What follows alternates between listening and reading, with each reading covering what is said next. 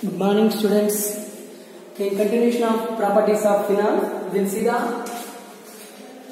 Riemann-Tiemann reaction. Riemann-Tiemann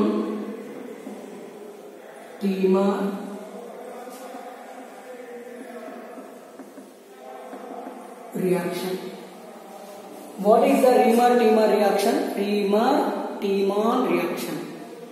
Okay, Riemann-Tiemann Riemann dimer reaction. Then see here, phenol reacts with chloroform in the presence of alcoholic potassium hydroxide. Okay, here at nearly mm, at high temperature and high pressure. High temperature means nearly 120 degree centigrade temperature high pressure means here nearly 2 to 3 atmosphere pressure what happens here we get solid silardehyde and hydroxy benzaldehyde okay ortho hydroxy benzaldehyde to write like this or like this both will be same this is the reimer tiemann reaction what is the name of this one this is ortho hydroxy benzaldehyde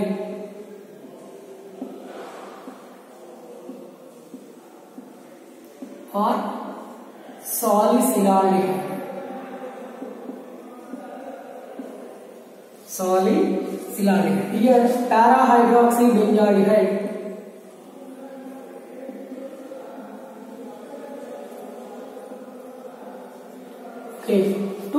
compounds are formed. What is the reaction? When phenol reacts with chloroform in the presence of alcohol and potassium hydroxide at high temperature, high pressure, 120 degree centigrade temperature, 2 atmosphere pressure, forms orthohydroxybenzoaldehyde that we call salicylaldehyde and parahydroxybenzoaldehyde. Okay, forms formed that we call Riemann-Timmer reaction. See the mechanism of this reaction. Okay, this is an electrophilic substitution reaction. This is an electrophilic substitution reaction. All electrophilic substitution reaction involves in three steps. What are those? One is formation of electrophile, second one formation of sigma complex, third one formation of stable complex. Okay, first step formation of an electrophile Formation of an profile. Here chloroform, chloroform means here H, here Cl, here Cl, here Cl. This is the chloroform. Chloroform undergoes dehydrohalogenation in presence of alcoholic potassium hydroxide. In the presence of alcoholic potassium hydroxide like this. What will get CCl2? This we call dichlorocarbene. This dichlorocarbene is neutral electrophile.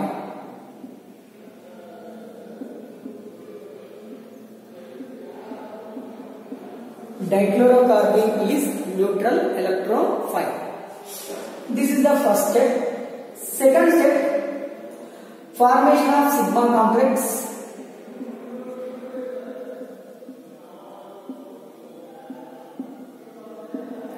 formation of sigma complex. Okay, how far? Okay, here this red profile attacks on phenol. We'll see. This is the structure of phenol. Here we have the lone pair of electrons. One of the electron transferred towards benzene ring.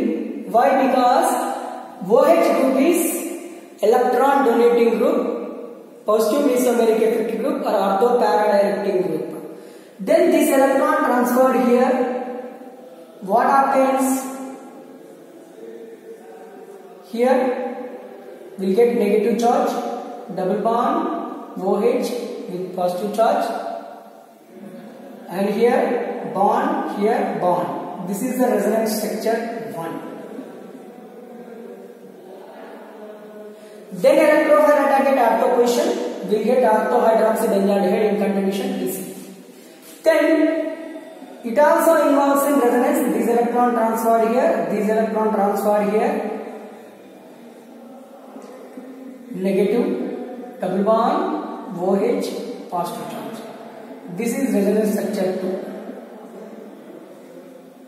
Then again this electron transfer, okay, resonance we get one more resonance structure like this bond here bond here negative charge here double bond no it with positive charge this is the resonance structure three resonance structure three three resonance structures are formed negative charge is present at okay negative charge is present at ortho position and negative charge is present at para position. Okay, in continuation, we'll see the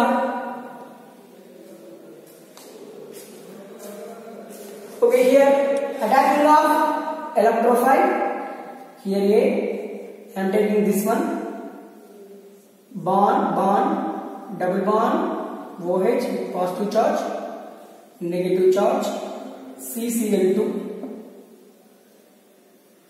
Okay, B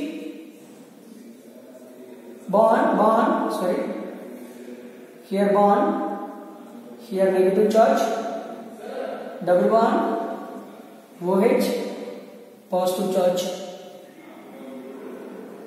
CCl2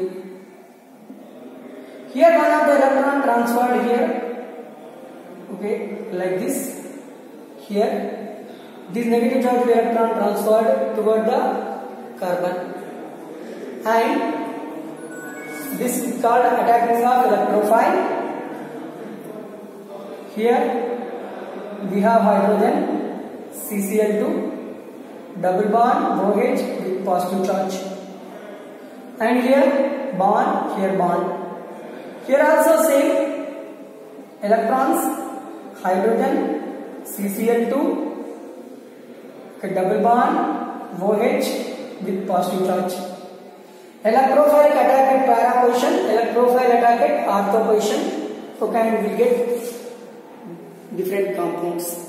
We'll see in continuation how compounds are formed from these two. Okay, this reacts with water. It also reacts with water. 2 moles of water. What happens here? Double bond OH positive charge here H here bond COH2 this may be written like this okay it reacts with KOH or this one loses 2 moles of HCl here also it loses 2 moles of HCl what happened OH here OH here okay it loses water molecule lose water molecule and here h is there this h transferred here this h transferred here it lose water molecule and again here h is there lose water molecule and forms C double bond O H and here H double bond OH plus. Here also same. Okay, H, CH Cl to attack. Hydrogen is there. Now hydrogen attack sign CH two Cl two attack. Okay, here CH same. OH, OH. Here bond, here bond, double bond, OH with positive charge. It also loses water and forms okay here H here CHO and double bond OH with positive charge with positive charge this is the second step in third step what is the third step here I am taking these two compounds that is third is what formation of stable complex formation of stable compound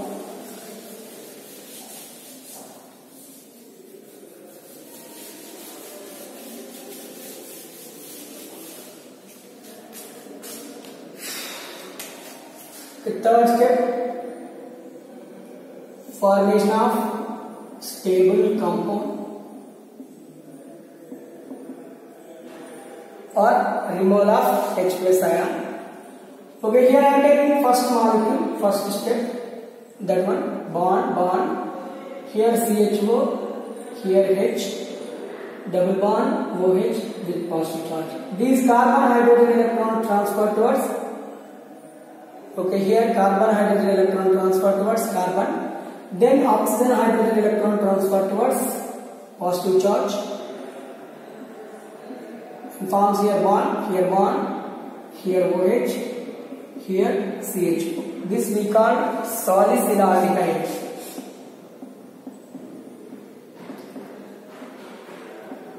aldehyde or orthohydroxy benzaldehyde from this molecule. From this molecule, second one here bond CHO H CHO H double bond OH positive charge this electron transferred here this electron transferred here then again this electron transferred towards positive charged oxygen here loses H plus ion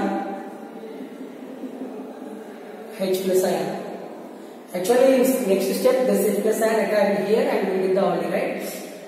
Okay, what happened here? These electrons, there is no change in this bond. These electron transfer here will get bond. These electron transfer here will get bond here OH. This we call ortho hydroxy benzene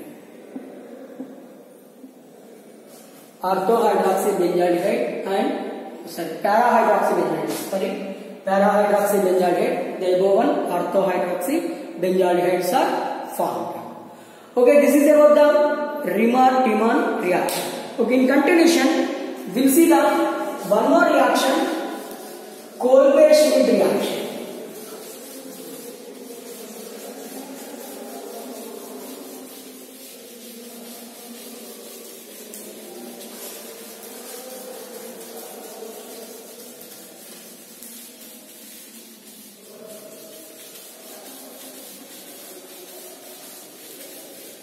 Okay, in continuation, we'll see the Kolbe-Schmidt reaction.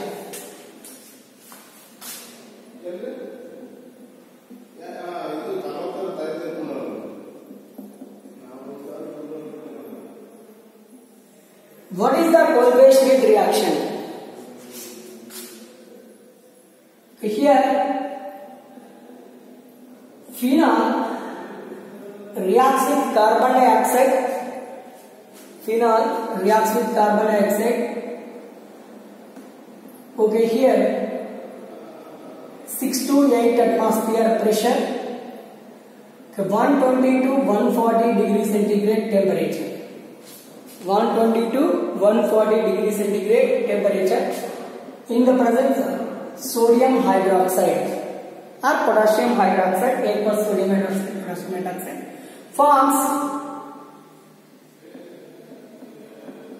OH COOH OH COOH this we called ortho hydroxy benzoic acid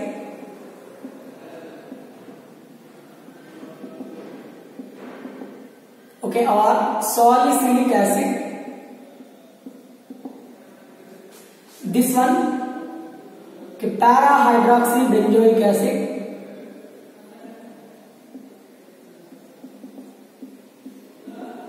para hydroxy benzoic acid this record as Kolbe reaction What is the Kolbe reaction? Phenol reacts with carbon dioxide. Okay, 62 atmosphere pressure, 8 atmosphere pressure and 120 to 140 degree centigrade temperature and in the presence of sodium hydroxide forms carbohydroxy benzoic acid we call salicylic acid and second one parahydroxybenzoic benzoic acid this reaction we call as kolbe schmidt reaction if you prepare one but only one same from this only one orthohydroxyglutaric acid that we called Kolbe's reaction.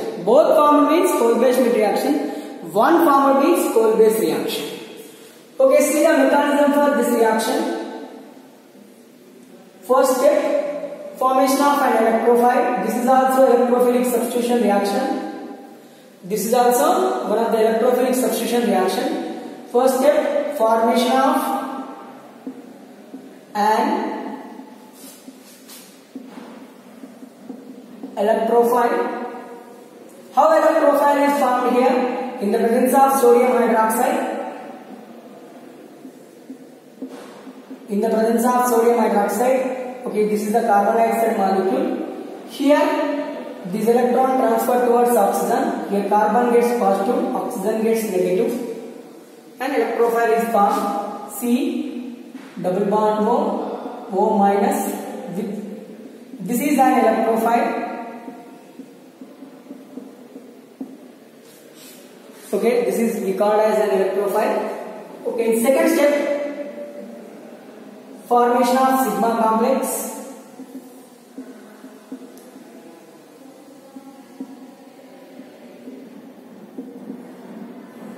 This electrophile attack on phenol, how it will attack, we'll see. Okay, here OH. First, it forms a sigma complex. Okay, here phenol is In phenol, bohate group is electron donating group or a ring activating group. So electron transfer from lone pair of electron transfer towards the ring like this. Then what happened? Here bond, here bond, here double bond, OH with positive charge, here negative charge. Then it involves in resonance. Okay, like this. And forms bond, bond, here negative charge, double bond, OH with plus. This is the resonance structure 1. This is the resonance structure 2. Then it involves in again resonance, this electron transfer this electron transferred here bond here bond here negative charge double bond OH with plus this is resonance structure 3 this mixture of these three we call as sigma complex and here this electrophile attack and resonance structure 1 and resonance structure 2 will get compounds see here a i am taking resonance structure 1 bond bond double bond OH with positive charge here negative charge electrophile attacks O minus double bond O here attacks what happens here bond here bond double bond OH plus then here we have the hydrogen here C double bond O minus. We'll get this one. Next B here.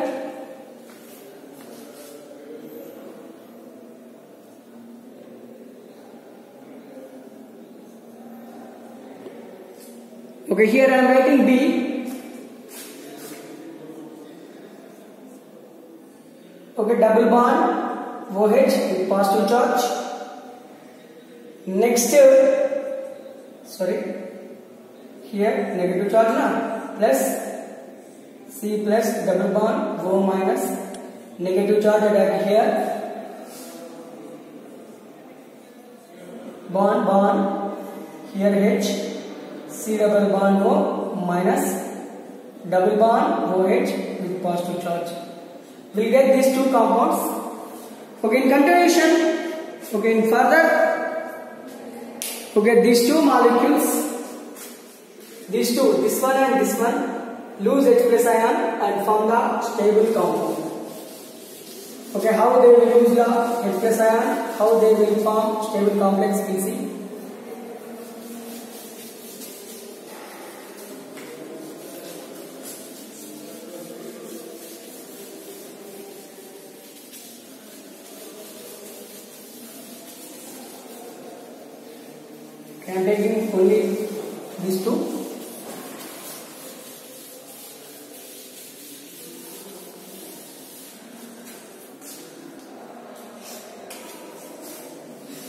can you take this one in third step.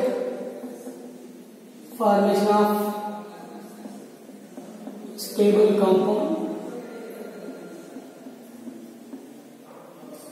or removal of H plus ion. Both will be same. Here first one double bond OH with positive charge.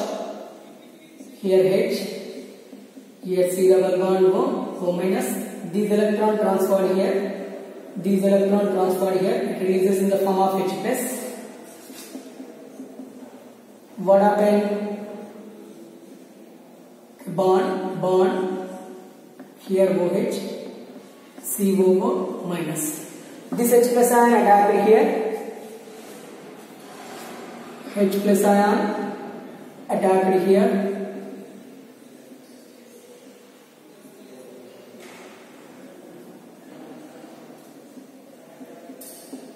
O H C O H और तो hydroxy benzoic acid was form second step के this molecule H C O O minus double bond O H with positive charge okay here hydrogen electron transfer here then electron transfer here and then this electron transfer here what happened here COO minus as usual this bond as usual bond as usual this hydrogen carbon hydrogen electron transfer means here we get the bond this electron transfer here means we get the bond here OH okay it releases H plus ion this H plus ion and here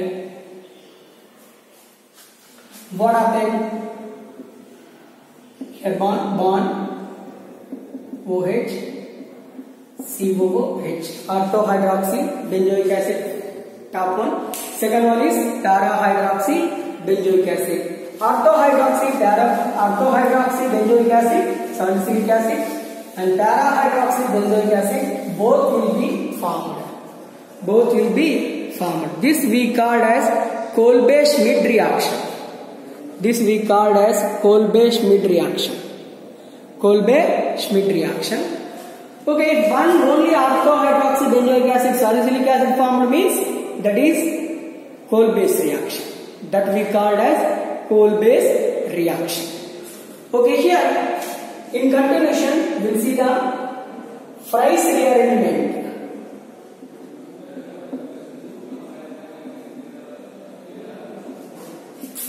Okay, in continuation, we will see the price rearrangement.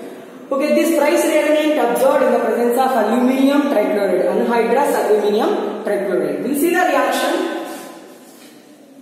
When phenol reacts with acetyl chloride in the presence of anhydrous. What is the meaning of anhydrous? Captions of water record as anhydrous anhydrous aluminium trichloride here what happened it loses HCl molecules like this then will get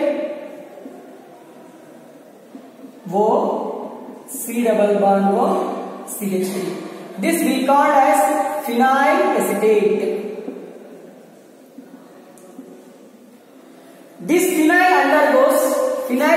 undergoes rearrangement. Rearrangement forms OH, C double bond को CH3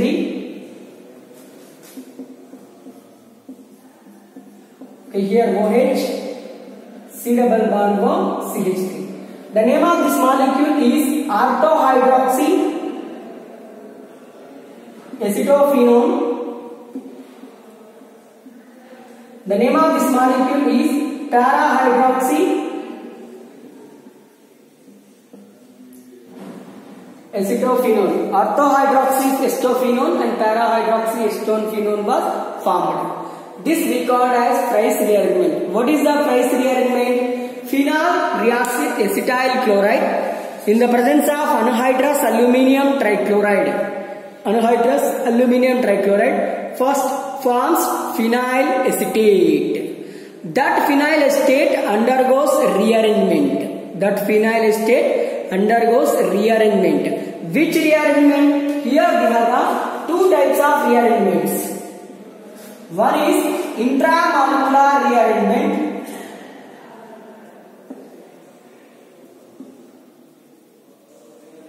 intramolecular rearrangement and intermolecular rearrangement.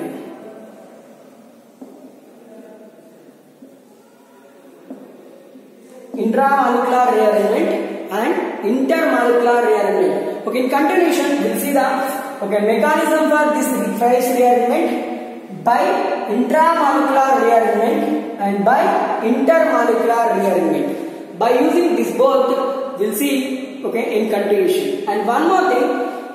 Why we use the anhydrous aluminium trichloride here? If you use hydrous aluminium trichloride, what happened? Hydrous aluminium trichloride, if you use hydrous aluminium trichloride, what happened?